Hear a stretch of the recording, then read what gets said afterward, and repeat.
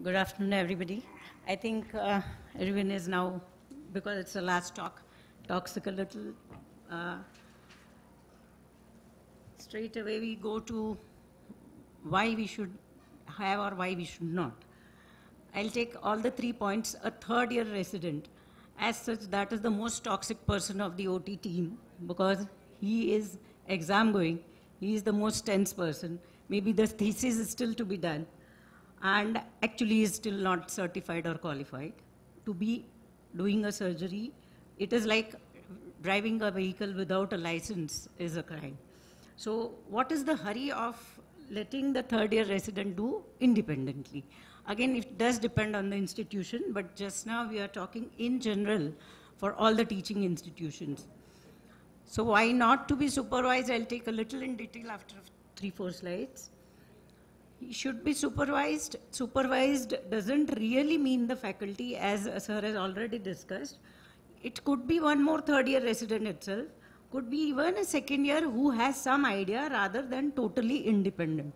It can be a guide or a help by someone else who has been doing those surgeries. So not necessarily teachers, or it can be a colleague. And the teacher can be around, which is a very big strength in itself. Teacher may not be actually uh, helping during, means washed up during the surgery. Teacher could be around and uh, it definitely would uh, make a difference. Surgery by itself, we have, uh, it is not a medical part, it is one for all. Like we don't get a second chance and we have to take into account the patient's viewpoint, surgeon's viewpoint, and of course the department's viewpoint.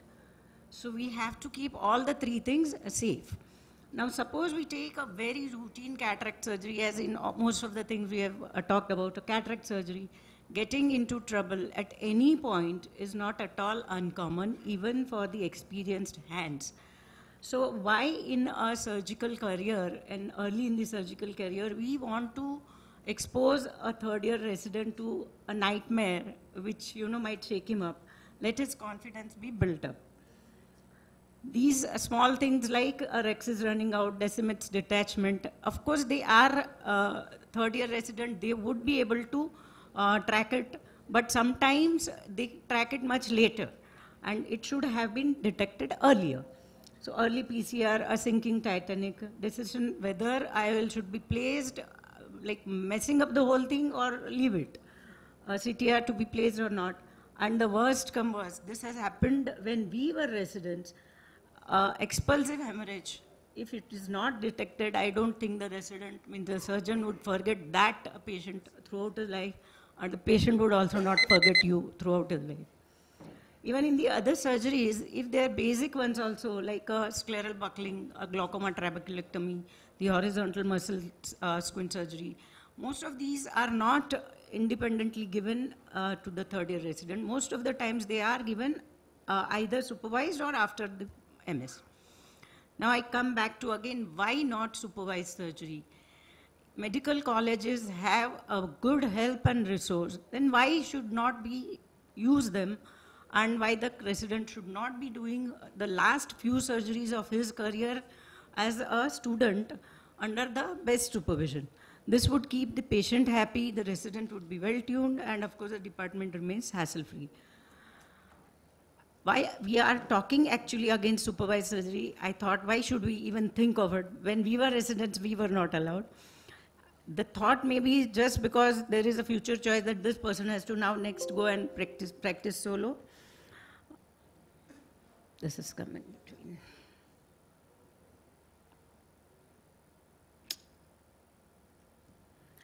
Uh, unqualified nursing staff is nowadays not allowed to do a duty of a nurse. So how can an unqualified surgeon be allowed to do an independent surgery?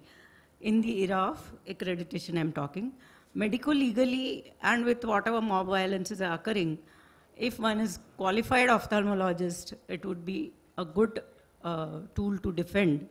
And uh, unqualified person ideally should not be allowed to perform surgeries on a live person mob violence we should not just forget. We do not want to risk any of our doctors, nor the patient, nor the hospital. And so don't be in a hurry. This is the message to third year resident. Don't be like, oh, I have not still done independent. Forget it. Learn well from your teachers when teachers are around. Move on and progress in a right way. Thank you. Yeah, thank you very much. I think